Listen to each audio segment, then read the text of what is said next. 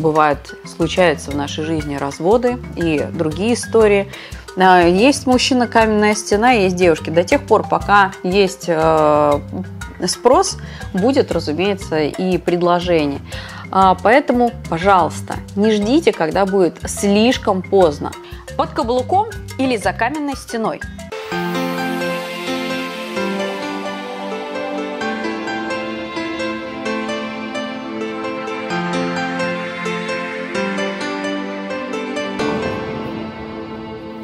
Вы знали, что на самом деле у подкаблучников и у женщин, которые ищут себе мужчину, за которым можно спрятаться, очень много общего. Не поверите, но это же очень удобный формат – спрятаться за своим партнером, не принимать никакие решения, а, не нести ответственность за них и, разумеется, находиться в том положении, в котором они находятся. Не поверите, но среди мужчин есть те, которые ищут себе сильную женщину – ну, и это нормально, что среди женщин много тех, которые ищут себе мужчину, за которым можно было бы спрятаться. И не нужно думать, что все женщины тоже мечтают о каменных стенах рядом. А кто-то ищет себе равноценного партнера, но при этом они что понимают? Кто такой равноценный партнер? Почему-то многие думают, что равноценный партнер – это мужчина, за которым как за каменной стеной, и при этом а, вы будете себя как-то там тоже по-своему, а, по полной проявлять гулять. Знаете, очень э, редко уживаются такие союзы. И, в принципе, конечно, я хочу сказать, что психология наука такая сложная. И мы знаем, что самые крепкие семьи – это семьи с зависимостями, алкогольными зависимостями, где мужчина пьет, э, женщина с ним живет и терпит его. Как ни странно, такие семьи очень долго держатся и совершенно не распадаются. Чем люди свободнее, проработаннее, независимее, тем больше они понимают, что они с этим партнером находятся только потому, что им хорошо, классно, комфортно. И если их что-то перестает устраивать, они просто-напросто расходятся.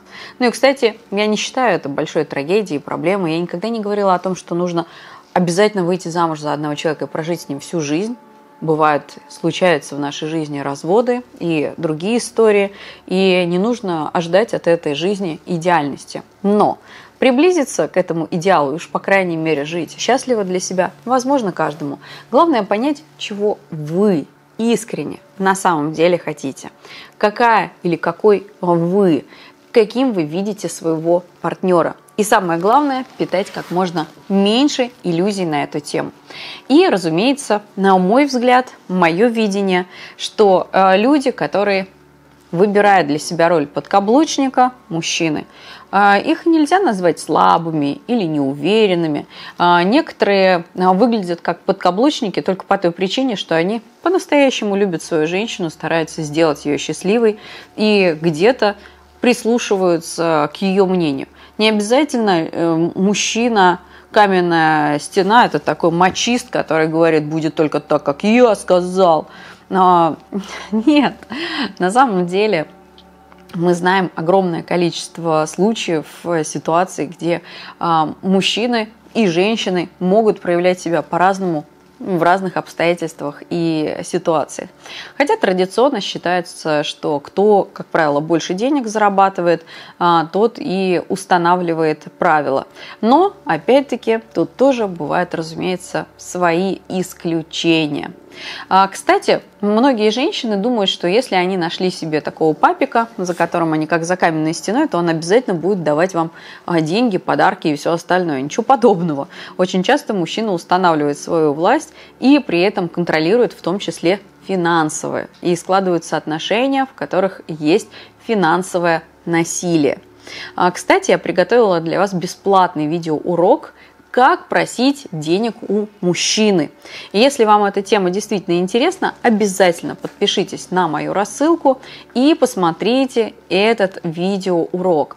А, почему я считаю важным его посмотреть? Потому что современные женщины очень часто на подсознательном уровне или где-то в глубине души своей ждут от мужчины помощи, поддержки, денег, внимания, но при этом почему-то не могут этого просить, а иногда даже не могут это получать.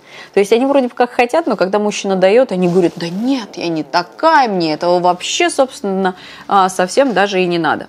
А, поэтому обращаю внимание на этот ролик, который нужно обязательно скачать, обязательно посмотреть и э, внедрить техники в свою жизнь. Итак, подкаблучник. Женщина, которая мечтает о каменной стене. Неужели эти люди, которые э, нужны, э, которые нуждаются в психологической помощи, что им нужно их исправлять и так далее? Да нет. Ну, знаете, есть руководители, а, есть подчиненные, есть подкаблучники, а, есть жены. А, есть мужчина каменная стена, есть девушки. До тех пор, пока есть спрос, будет, разумеется, и предложение. И помните, что в разных странах, в разных культурах существуют разные взаимодействия.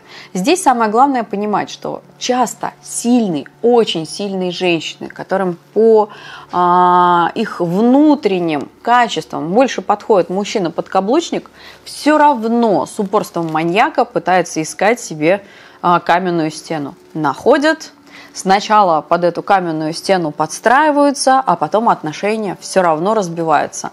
Почему? Ну, потому что жить с таким человеком они совершенно не могут. Вы знаете, я считаю, что как в природе есть хищницы, тигрицы, львицы, которые на самом деле сами охотятся и сами притаскивают а, добычу. И я считаю, осознать свою тигристость, львиность, это тоже очень а, важный шаг, когда вы принимаете и любите себя такой, какая вы есть, четко осознавая, кто вы и какой партнер вам нужен. И не нужно ни в коем случае говорить о том, что ой, да, мне вот стыдно признаться, что я вот сама себе квартиру купила. Один раз такой заявила мне клиентка на консультации. А что в этом такого? Неужели нельзя гордиться своим собственным успехом, тому, что вы сами зарабатываете денег? Ой, ну правильнее было бы, что если бы мужчина подарил. Ну кому правильнее? Кому-то клево, что им мужчина подарил. Ну вот, но есть огромное количество женщин, которые с удовольствием бы жили с мужчиной, который бы давал им защиту, поддержку, внимание, деньги. Но при этом им, например, родители в детстве вбили, надо самой зарабатывать, нужно самой пробирать себе, пробивать себе дорогу в жизни, а, ни в коем случае у мужчин денег не бери. Вот тогда у них складываются несчастливые отношения, потому что они начинают фигачить работать, терять свою женственность, терять свою энергию, терять себя и в результате что? Упустили э, время, и упустили возможность э, построить с мужчиной отношения.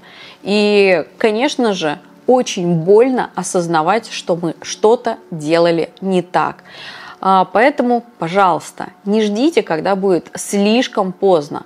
Помните про центр Федоровой Екатерины, про вашего чуткого психолога Федорову Екатерину. Обязательно подпишитесь на мою рассылку, даже если вам видеоурок «Как просить деньги у мужчины» не нужны, ведь благодаря этому в дальнейшем вы сможете получать приглашения на мои закрытые, бесплатные на вебинары, которые посвящены женскому счастью и женскому удовольствию. Ну и, конечно же, подписывайтесь на мой канал и смотрите еще больше полезных роликов и информации. Итак, кто вы? Тигрица? Волчица? Кошечка? Может быть, какое-то еще существо? Кто ваше тотемное животное? Пишите в комментариях, давайте знакомиться.